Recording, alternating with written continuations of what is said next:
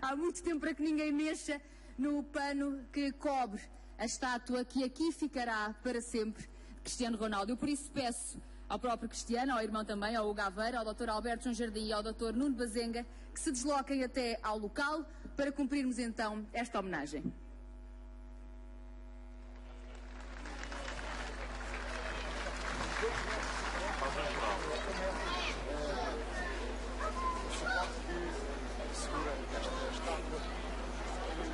Então o Cristiano Ronaldo e o próprio Cristiano Ronaldo estão a se deslocar para o local, a estátua, para descerrar oficialmente este monumento que imortaliza então o melhor do mundo, que é Cristiano Ronaldo.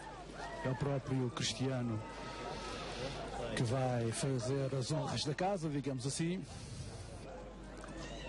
com passo de espera com o seu filho. Cristiano Ronaldo a pedir ao filho para se aproximar, para puxar conjunto com o pai o pano que está a tapar esta estátua. É lá está. Cristiano Ronaldo imortalizado em estátua de CR7. Na base da estátua há uma inscrição que diz Cristiano Ronaldo, nascido na Madeira 5 de fevereiro de 1985, melhor jogador do mundo.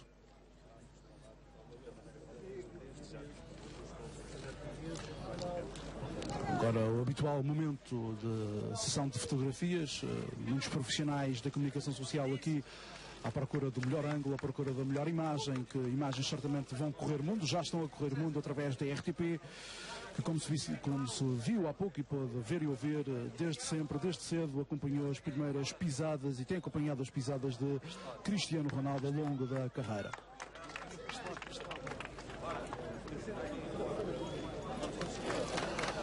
Família Aveiro agora reunida junto à estátua.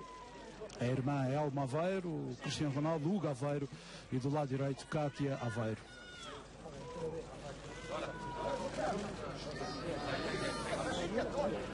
Muito público, podemos ver eh, já através das câmaras da RTP, de facto, a população da Madeira quis marcar presença aqui na capital eh, da região para assistir ao vivo e a cores este descerrar da estátua.